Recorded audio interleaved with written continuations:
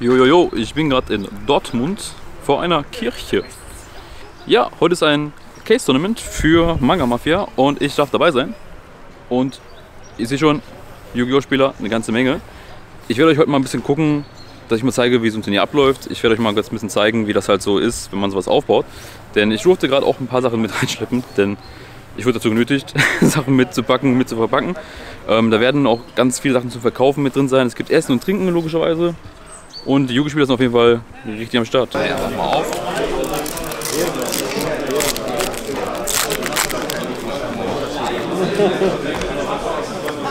Kann ja, Du das natürlich erst ziehen kannst, oder? weil ich mir meinen Zeitgib decken. Aber hey, die Kröte, die Kröte war göttlich.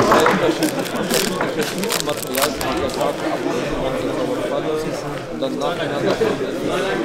Oder ist hier einfach ein Goldbright äh, Nitro-Sprenger? Das ist auch so eine. Ja. Wow. Fast das Basic bekommen. Jojo, was geht? Runde 1 vorbei. Ich habe so hart gebrickt. Holy, ich bin first gegangen, hatte zwei Clips Lightstage plus Lilybell plus ein Enemy Controller. Das macht tatsächlich nix. Im zweiten Game habe ich theoretisch wohl Combo, mein Gegner gibt mir einen Joll. Hätte vorher einfach Rap beschwören können, dann hätte ich das aufhalten können, aber dann hätte ich auch nicht so viel machen können. Und dann gibt er mir einfach einen Change of Art auf mein Xi-Monster und rennt mit Zeus und meins drüber und hat dann voll komplett Combo. Da konnte ich nicht so viel machen, habe also alle enttäuscht. Für alle, die nicht wissen, ich spiele übrigens heute Sprite. Pur Sprite. Ich habe die Runing-Variante getestet. Ich fand den nicht ganz so geil, deswegen habe ich mich für das pure Deck entschieden. Das theoretisch sehr viel noch spielen kann. Ich habe dann trotzdem noch extra Normal Summon Engines reingepackt, um halt ein bisschen was mehr machen zu können. Hat nicht so ganz funktioniert im ersten Match. Gucken wir uns das nächste an. Was geht, was geht, was geht? Wir haben Runde 2 vorbei. Ich habe gerade gegen Kastira gespielt. Und wisst ihr, was das geile an ist? So ist es eine Karte, die das Hops nimmt. Ich habe das gewonnen. Ähm, 2-1. Das erste Game ist er angefangen. Er hat mir alles hingelegt. Er hatte halt eine Hand. Er hat sich mit der Field Spell den Kashira Specialer gesucht, weil er einfach alles hatte. und hat mir alles dahin gelegt. Komplett. Extra gebanished, Karten gebanished. Und hat leider meine Lilybell gebanished, weil mit der Lilybell hätte ich durchspielen können über Zeus. So habe ich es nicht geschafft. Zweite Game. Ich angefangen, habe ihm alles hingelegt. Er evil mich in der Battleface, ich aktiviere Lanze von meiner Hand, reingesidet, gute Karte gegen Evely. Und dann im dritten Game, er geht first, macht mir einen Rise Hard Pass. Ich ziehe zweimal Lightstage. Er hat mir wieder meine Lilybell gebanished. Ich treffe aber mit der Lightstage eine Set-Karte, die mir was aus der Hand klauen kann. Was ziemlich gut ist. Schaffst dann auf Zeus zu kommen, clear das Board, macht dann Combo. Hab dann quasi alles auf dem Feld. Er, hatte noch, er hat keine Karte mehr in der Hand, zieht dann nach. Zieht tatsächlich einen Fenrir nach, was ziemlich gut ist. Ich habe aber einen Book. Und dann ist danach einfach vorbei gewesen. Gucken wir, was in der nächsten Runde passiert.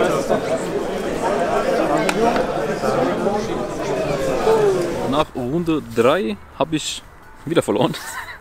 Ich habe gerade gegen Sprite Livestream gespielt. Das Deck ist wirklich echt, echt gut. Kann auch extrem okay grinden. Das ist halt die Stärke von dem Deck. Das kann mein Deck halt nicht so gut. Deswegen haben wir das erste Game hat sich so boah, 25 Minuten hingezogen. Also ganz schön lange. Und dann habe ich im zweiten Game halt komplett Endboard gelegt, aber es hat halt nicht gereicht, weil er quasi durchspielen könnte, weil ich nicht genau wusste, wo ich es interrupten kann, weil ich nicht wusste, wie viel er noch machen kann. Und hat dann quasi auch eine richtig gute Hand gehabt. Ja, da haben wir uns halt zu Tode gerindet im zweiten Game und dann hat der Zeus meine ganzen Karten weggemacht und dann habe ich halt verloren. Das war ein bisschen ärgerlich. Das Schöne ist aber, wir haben auch gerade Runde 4 gespielt. Da habe ich gegen MathMac gespielt. Ich muss sagen, das Deck ist deutlich scarier, als ich anfangs angenommen hatte. Das ist wirklich, wirklich gut, auch gerade gegen mein Deck, weil es halt einfach den X-Code macht und mich einfach umbringt. Ich konnte es gewinnen. 2-1. War ganz schön knapp tatsächlich. Also knapper als hätte sein dürfen, muss man fairerweise sagen, weil der Spieler hat das relativ am Anfang wahrscheinlich gespielt. Ähm, hat zumindest auch meine Karten nicht gekannt, was komisch ist, weil ich als Sprite spiele. Aber das war ein cooles Match. Äh, Eclipse ist eine Karte, die ist ganz in Ordnung im Format. Die stoppt halt viele Plays vom Gegner. Und wenn man die Kombo durchdreht und Mosquito ist insane. Mosquito ist eine richtig gute Karte. Im ersten Game habe ich ihm halt Mosquito OTK gedrückt. Im zweiten Game habe ich ihm halt Gamma Burst OTK gedrückt. Das Deck kann richtig gut OTKen. Also, wenn ihr mal gegen Sprite spielt, vergesst das nicht. Das kann euch ganz schön hops nehmen. Ich würde sagen, gehen wir die nächsten Runden. Ich glaube, ich spiele heute sieben Runden. Also, gucken wir mal, was gleich noch passiert. Ich habe aber gerade gewonnen. ist der 29. Also werden wir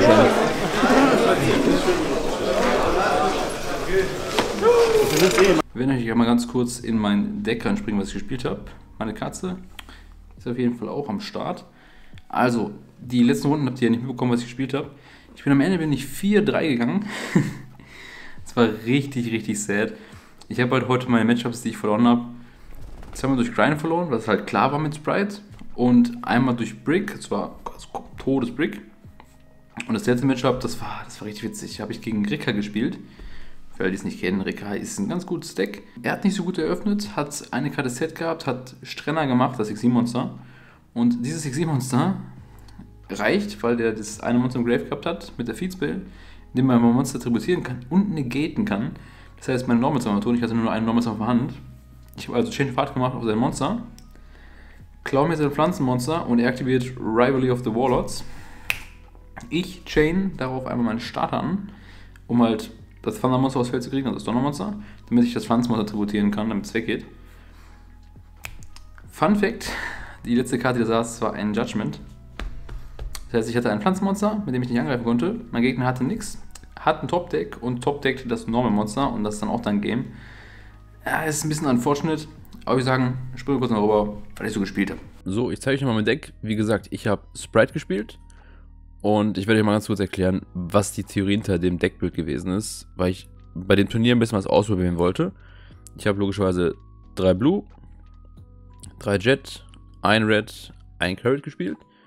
Das Monster-Lineup würde ich auch tatsächlich nicht ändern von den Sprite-Karten, weil das die besten sind. Pixies braucht ihr im Deck nicht und das auf jeden Fall das Bare Minimum. Das wollte ich auf jeden Fall spielen und das sollte man auch spielen. Und ich würde nicht mehr spielen. Dann die drei Starter sollten klar sein. Und dann habe ich Smashers und Gamma Burst gemaint. Ich habe Crossfire nicht im Main Deck gespielt, weil ich halt flexibler Go Second sein wollte, dass ich nicht noch eine Regal auf Hand haben wollte, weil ich spiele im Deck schon ein paar Karten, die Go Second so ein bisschen tot sein können. Deswegen wollte ich diese beiden Karten spielen, die mir Go Second halt Games gewinnen können, mit denen ich halt nicht unbedingt verliere, wenn ich es halt hard draw, weil Gamma Burst ist halt Go Second schon eine ganz gute Karte und Smashers kann dann Sachen outen, die mich halt nerven. Dann habe ich logischerweise drei Biber gespielt und zwei Angler. Der gute italienische Angler, ganz wichtig. Die Engine ist mandatory und die ist insane. Also das nicht zu spielen wäre schwachsinnig. Das sind einfach gute Karten, das sind super Normal Summon und die Karten über den Sprint zu schicken ist halt schon gut. Würde ich auf jeden Fall auch genauso wieder machen. Und dann habe ich noch das hier gespielt. Dark Beckoning Beast mit zwei Gates. Für alle, die nicht wissen, was die Karte tut, die Karte auf Normalbeschwörung addet die das Ding hier das Ding addet den hier und der gibt uns eine extra Normalbeschwörung für ein Fiend 0 ATK Monster, also ihn selber. Der hier hat auch eine andere Fähigkeit, dass wir eine Karte diskarden können und wir dann einen Fiend mit 0 ATK von Graves zurückspecialen können. Die Theorie dahinter war, ich wollte einen zweiten Normal Summon Engine spielen. Ich habe jetzt hier fünf Karten genommen. Lieber wäre auch eine Möglichkeit gewesen, aber ich wollte das mal ausprobieren. Weil es kommt halt auch vor, dass man halt den hier hard drawt. Und dass man halt keinen Biber Access hat. Das bedeutet halt, wir können halt den ersten schicken über Sprint und den zweiten halt über den Discard von dem und kriegen dann nochmal ein extra Monster aus Feld, also zwei extra Monster, mit denen wir dann nochmal eine andere Karte machen können. Deswegen kommt das halt auf. Die hat mich heute eigentlich überzeugt, die Engine. Die ist an sich echt nicht schlecht. Das Ex der Extra Body, der ist halt wirklich super. Und im Grind Game ist das auch ganz cool, denn ihr kriegt halt immer Level 2 Monster aus Feld, die man discardet. Wenn ihr also noch eine Karte in eurer Hand haltet, ihr zieht eine zweite Karte nach, ist das wirklich halt eine gute Karte. Dann habe ich noch gespielt zwei Lightstage und eine Lilybell. Die Engine war auch gut. Das Problem bei der Engine ist halt, die kollidiert so ein bisschen mit den anderen Sachen. Das heißt, wir haben sehr viele Sachen, die zu Level 2 Monster geben können, aber wir können nicht so viel damit anfangen. Deswegen in Zukunft würde ich halt entweder das spielen oder das spielen. Oder spielt an den, anstatt den Sachen, spielt ihr halt Gamma mit dem Emergency Teleport. Das funktioniert auch ziemlich gut. Ich fand beides für sich alleinstehend heute ziemlich, ziemlich gut. Nur eine Karte wie die hier im Format zu spielen, wenn ihr halt darauf relied, dass ihr eine Karte bekommt, wenn ihr eine Karte aktiviert, ist halt doof, wenn Kashira im Format ist, der euch die Karte banishen kann, oder halt auch die Runde-Karten, die euch die Karte banishen können. Deswegen weiß ich nicht, ob ich das nochmal machen würde, aber die Engine fand ich gar nicht so bad heute. Dann für die Non-Engine-Karten habe ich drei Enemy-Controller gespielt. Unglaublich gute Karte. Dann drei Ash, weil Despia und selbst gegen Kashira kann die ziemlich gut sein. Dann habe ich tatsächlich drei Book of Moon gespielt. Und drei Eclipse. Ähm, das waren jetzt zwölf Slots, weil ich halt eine ganz große Normal Summon Engine gespielt habe mit den ähm, zehn Karten mit Biber und Angler und Beckoning Beast und Gates und halt die drei Karten noch von der ähm, Trickster Engine. Zwölf Karten, die waren an sich gut. Ich würde wahrscheinlich beim nächsten Mal dann noch drei Prosperities spielen, damit ich das halt nicht habe. Und für die letzten drei Karten im Main Deck sind es Melfi, Katzi und Pinny und halt Epiria. Epiria war die 41. Karte, denn ich habe die Seelenscherer nicht gespielt und ich wollte noch ein anderes Target haben für Gigantic, dass zumindest halt ich einen Plus bekomme für die Backing Beast Engine, dass ich halt eine Karte zum Diskarden habe, wenn ich mir nicht halt schon das Gate gesucht habe oder so. Deswegen gute Karte, würde ich wahrscheinlich aber nicht mehr spielen, wenn ich Prosperity spiele. Weil dann kommt die Karte halt nicht auf. Wahrscheinlich würde ich noch die Seelenschere spielen. Die Karten waren beide gut. Wenn ihr ähm, die Hard Rod ist okay, wenn ihr die Hard Rod ist auch okay. Was halt doof ist, wenn ihr die Hard Rod, Biber und Angler zieht, dann habt ihr halt irgendwie ein bisschen das Problem, weil dann kann die Karte euch nicht mehr extra Plus geben. Das ist halt ein bisschen schade. Und die beiden zu ziehen ist halt auch nicht so geil. Dann zeige ich euch, bevor ich jetzt mal das extra Deck zeige, kurz einmal das Side Deck. Denn ich habe Crossfire, wie gesagt, gesided. Ist eine gute Karte. Ich habe sowohl Mind Control als auch Überläufer gesided. Ähm, Überläufer pauschal eine deutlich bessere Karte. Das sind halt Sachen, die sind fürs Matchup wie Kastira ziemlich gut, weil wir einfach das gegnerische Monster klauen können und dann halt Sachen machen können. Dafür ist halt Mind Control nicht ganz so gut wie Überläufer, aber logischerweise beides Optionen, die viable sind, denn Mind Control plus Enemy Controller ist halt schon ziemlich krass, um halt ein gegnerisches Board zu outen. Ähm, ihr könnt halt nicht das Monster tributieren, für Enemy Controller tributieren, die ihr klaut. Und trotzdem kann das halt schon Sachen vom Gegner rausziehen, wenn ihr mehrere Sachen klauen könnt. Dann habe ich tatsächlich drei Kaijus gespielt. Ähm, ich habe den Kaiju nur einmal gesehen. Da wäre gut. Kann ich nicht viel zu sagen, aber grundsätzlich eine solide Option, wenn ihr halt gegen so Bossmonster Probleme habt. Dann habe ich drei Lanzen gespielt. Ähm, für zwei Gründe. Zum einen ist sie halt gegen Kastira, wenn die First gehen, halt ziemlich gut. Das heißt, ihr könnt eine Lanze schmeißen und dann könnt ihr nicht eure ganzen Karten im Extra-Deck managen. Das ist ziemlich gut. Der Grund, warum ich aber eigentlich gespielt habe, ist, weil mein Board extrem anfällig gegen Evenly und gegen Eclipse ist. Das bedeutet, wenn der Gegner halt Evenly plus Eclipse hat, das ist ein bisschen beschissen.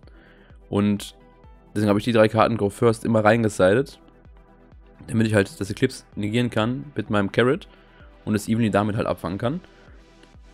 Und so nehme ich auch den Sack raus, wenn die wirklich mit zwei Evenlys starten. Das kann ja auch passieren. Weil wenn ich das erste Evely damit quasi aufhalte, können die halt das zweite Evely gar nicht mehr machen. Deswegen ist die Karte halt legit ziemlich, ziemlich gut. Dann habe ich drei Cosmic gespielt. Weil ich halt gegen Runic ein bisschen was haben wollte. Und gegen so Floodgates. Und da ist meiner Meinung nach Cosmic die beste Option. Weil wenn der jetzt ja einen Skill liegen hat und du machst halt Crystal Cosmic drauf, dann kannst du in der Regel weiterspielen und Deswegen war das auf jeden Fall eine ganz gute Karte. Und die letzte Karte im Side-Deck war Evenly. Evenly heute, ich glaube, dreimal gezogen, zweimal davon resolved. Einfach eine gute Karte. Würde ich im aktuellen Format spielen, weil die Gegner legen halt keinen Spelltrap Negate hin, außer ihr spielt halt gegen Sprite. Aber ansonsten ist es halt immer eine Karte, die euch halt, sagen wir, das Game wieder zurückholt. Dann kommen wir jetzt zu meinem illustren Extra-Deck habe ich einmal Gigantic plus Gigantic. Ich habe nur zwei gespielt, denn ich glaube, zwei reichen komplett aus, damit ihr halt wirklich spielen könnt. Dann Sprint und Sprint. Den braucht ihr definitiv zweimal. Wenn kein Shiro euch einen rausnimmt, habt ihr echt ein Problem. Deswegen müsst ihr den auf jeden Fall zweimal spielen. Bei Gigantic könnte man dasselbe Reasoning machen, dass wenn ihr einen benutzt, der Gegner bandet euch einen davon ist mit einem extra Deck habt ihr halt keinen mehr, aber in der Regel habt ihr trotzdem die Möglichkeit, das Game zu gewinnen, wenn das halt passieren sollte. Deswegen fand ich Utility von anderen Karten ein bisschen besser. Habe ich den einen Jinbuster gespielt. Gute Karte, kam heute auf jeden Fall auch Mal auf. Dann Onibimaru. Ich habe viele gesehen, die die Karte da haben. Ich verstehe nicht warum, weil die Karte sorgt dafür, dass ihr mit Gamma Burst halt gamen könnt. Und deshalb ist die Karte super wichtig für den Gamma Burst OTK, weil ihr das eine Monster removed, was euch im Weg steht, damit ihr halt OTK könnt. Und da ist sie wirklich richtig, richtig solide. Dann habe ich noch einmal Mannequin Kick gespielt. Ist ein ähnliches Reasoning wie bei äh, Onibimaro. Die Karte kann euch helfen, den Gamma Burst OTK zu machen. wenn ihr dem Gegner ein Monster gebt mit 0 ATK, könnt ihr halt easy halt wirklich halt für Damage drücken. Selbst wenn ihr mehrere Monster auf dem Feld hat und ihr quasi dieses eine Monster noch braucht, damit ihr halt genug Damage machen könnt für Game. Und die Karte ist halt schön, weil die Sachen von viel reviven kann, wie jetzt ein Sprint zum Beispiel oder ein Gigantic. Da ist die super hilfreich. Das kommt zwar nicht oft auf, das ist so die Karte, die man am wenigsten benötigt, aber sie ist halt super hilfreich. Natürlich noch einmal Malfi des Waldes. Der ist wirklich nur für die Malfi Engine da. Der Negate-Effekt von dem wäre cool, wenn er sich anketten würde, aber leider macht er auf Resolve. Ansonsten eine sehr gute Karte, vor allem gegen Kastierer ist die wirklich ziemlich gut. Dann habe ich noch einmal Mosquito gespielt. Mosquito ist eine gute Karte. Also die finished Games, die ihr eigentlich verlieren müsstet. Deshalb ist die einfach ziemlich gut. Dann habe ich noch einmal Phoenix gespielt. Ich wollte noch einmal ein generisches Link-Monster haben, wenn ich mir die ganzen Karten vom Gegner klaue, dass ich irgendwo reinrennen kann. Und eine Karte, die irgendwelche Floodgates outen kann, die ich vielleicht nicht unbedingt outen kann, ohne diese Karte. Deswegen ist die Karte halt super hilfreich. Und die hat mir, ich habe die zweimal gemacht heute. Und zweimal war sie wirklich auch gut, als ich sie gebaut habe. Dann habe ich noch einmal Download gespielt. Und zwei Zeus. Ich weiß, viele haben mittlerweile Download gecuttet, wegen dem Space selber. Aber man muss wirklich sagen, dass Download immer wieder mal aufkommt, dass wir halt ein extra Material brauchen. Und ich spiele auf jeden Fall zwei Zeus wegen Kastierer. Ich glaube auch, selbst wenn Kashira nicht im Format wäre, würde ich trotzdem aktuell 2 Zoll spielen, weil wir den Space halt haben, weil wir halt keine 11 mehr spielen. Obviously. Aber wirklich eine gute Karte. Zeus war heute. eh. also jedes Mal, wenn Zeus beschworen wurde, war es einfach krank. Und dann spielen wir noch einmal lustige Melfies und den Herald. Das sind die beiden Targets für Pinny. Je nach Situation kann es halt sinnvoll sein, wenn wir die lustigen Melfies machen, dass wir halt Monster vom Gegner bouncen. Oder wir halt den Omni-Negate bekommen. Beides super relevant. Der Herald ist theoretisch besser, wenn ihr Crossfire habt. Das heißt, wenn ihr wirklich halt First gegangen seid, ihr habt Crossfire eingesetzt, habt ihr euch gesearched. Special den, weil ihr dann zwei Omni-Negates bekommt. Wenn ihr aber nur Monster vom Gegner removen müsst, weil ich euch quasi outen kann, dann holt ihr halt den hier und haut dann quasi weg. Und klaut euch mit Crossfire einfach das nächste Monster, was ihr beschwört. Deswegen beide Karten super, super valuable. An dieser Stelle nochmal ganz kurz ein Dank an Manga Mafia fürs Einladen für dieses Event. Das hat bis auf so ein paar kleine Kinderkrankheiten auch echt gut funktioniert.